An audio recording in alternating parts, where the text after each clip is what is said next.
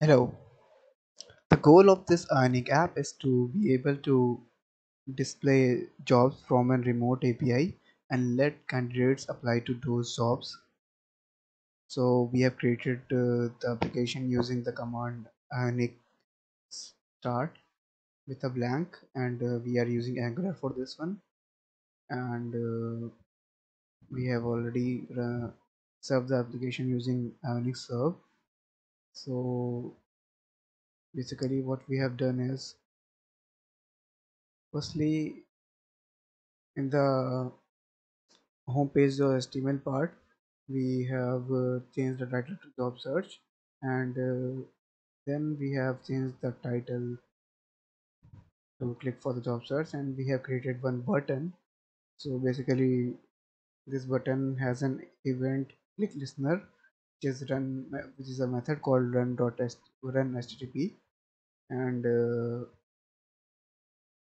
then we have we had in order to call the api we had to import two modules which are http in the home dot page dot home.page.ts section oh sorry app module ts section which is import http client and http client module.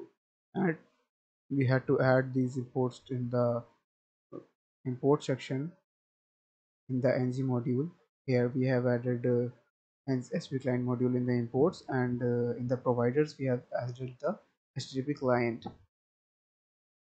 So now coming back to home.page.ts so here we have to import the http client in order to uh, be able to run the http get request and uh, now here we are uh, using uh, constructing our method which uh, which is in this html part which is run dot run http so in the home page ts section this run http method we use this dot http dot get and then we use the url which is uh, an api url to get the api detail.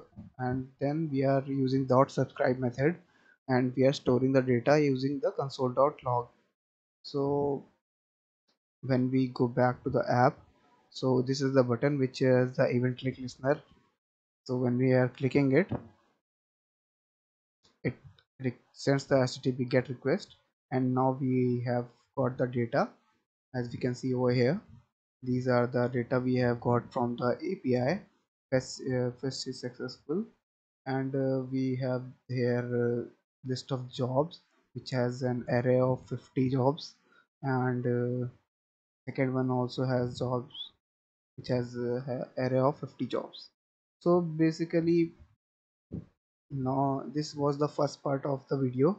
And in the next part we will learn how to fetch the data uh, we how to display the data and let the candidates apply of through this data all these jobs okay. thank you so much